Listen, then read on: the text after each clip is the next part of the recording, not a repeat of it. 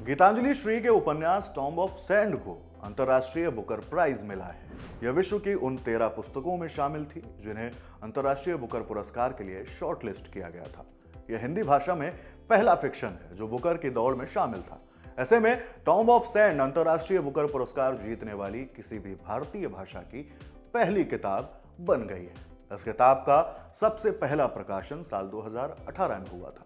हिंदी नाम रेत समाधि बाद में लेखिका और अनुवादक डेजी रॉकवेल ने इस उपन्यास का अंग्रेज़ी में अनुवाद किया और नाम पड़ा टॉम्ब ऑफ़ सैंड। गुरुवार 26 मई को लंदन में एक समारोह में लेखिका ने पचास हज़ार पाउंड, यानी करीब 50 लाख रुपए का अपना पुरस्कार लिया और इसे अनुवादक डेजी रॉकवेल के साथ साझा किया। इंडिया टुडे के मुताबिक इस दौरान उन्होंने कहा कि मैंने कभी नहीं सोचा था कि मैं ऐसा कर सकती हूँ। मैंने कभी बुकर का सपना नहीं देखा था। यह कितनी बड़ी बात है।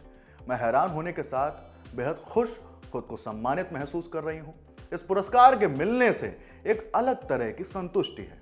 रेत समाधि टॉम्ब ऑफ़ सैंड उस दुनिया के लिए एक शोक गीत है जहाँ हम रहते हैं। बुकर निश्चित रूप से इसे कई और लोगों तक पहुंचाएगा।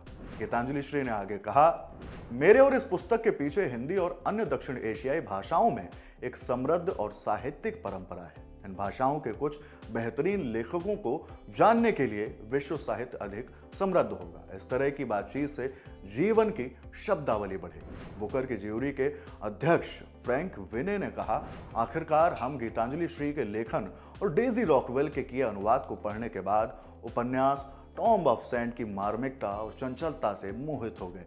यह भारत और उसके विभाजन पर एक शानदार उपन्यास है, जो मंत्रमुग्ध कर देता है। ये युवाओं, पुरुषों, महिलाओं, परिवार और राष्ट्र को कई आयाम में दिखाता है। यह उपन्यास हमें 80 वर्षीय एक महिला के जीवन के हर पहलू और आश्चर्यचकित कर देने वाले उस अतीत में ले जाता है, जहाँ उसे बंटवारे के दर्द का सामना करना पड़ा। गीतांजलि श्री का जन्म उन्नीस सौ सत्तावन में उत्तर प्रदेश के मैनपुरी में हुआ था।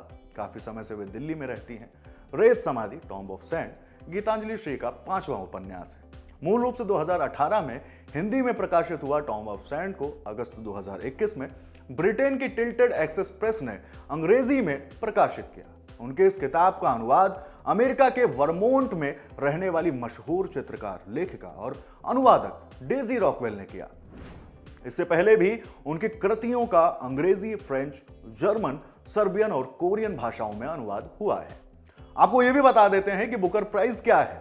यह पुरस्कार अंग्रेज़ी में ट्रांसलेट और ब्रिटेन या आयरलैंड में प्रकाशित किसी एक पुस्तक को हर साल दिया जाता है।